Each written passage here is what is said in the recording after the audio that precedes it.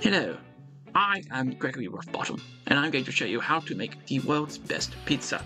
Now, we're going to start with a few ingredients, and these ingredients are going to be bread. Doesn't matter what kind of bread, as long as it's bread, you're all good to go. And on that bread, we're going to add tomato sauce. Of course, it's not pizza without tomato sauce. And of course, we must add some mozzarella cheese. Mozzarella cheese is vital. Your topping can vary, but for this video, I'm going to go with a nice healthy mushroom. Yes, mushroom. Can't go wrong with that. And next thing you should find is your pizza looking something like this. If it looks any different, then you've done something wrong.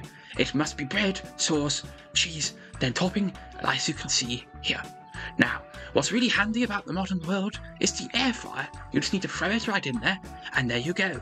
I did it to both sides, for I did many sides of my portion. Now, you need to check your running time. I chose to do about three minutes in there on 200, but as you could see when I opened it up, it wasn't melted yet, and you always want a melty pizza, don't you? So I put it back in there, and took it back out when it was gone again. And as you can see, it looks more like a pizza now, which is what we want. So the next thing is naturally to do is just to plate up, look at your pizza, study it. If it's ready to go, then of course you can eat it. And what proves this is a really nice, genuinely brilliant pizza is the fact I had a really, really big cheese pull. As you can see there. Look at that cheese. Look how it was refusing to go.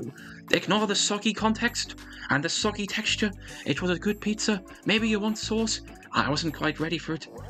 But I decided I would just continue and I would eat my fantastic pizza. If you followed my instructions, and congratulations, best pizza maker, you have made the world's best pizza. Does anyone want any more cooking tips from me? I'll be happy to provide.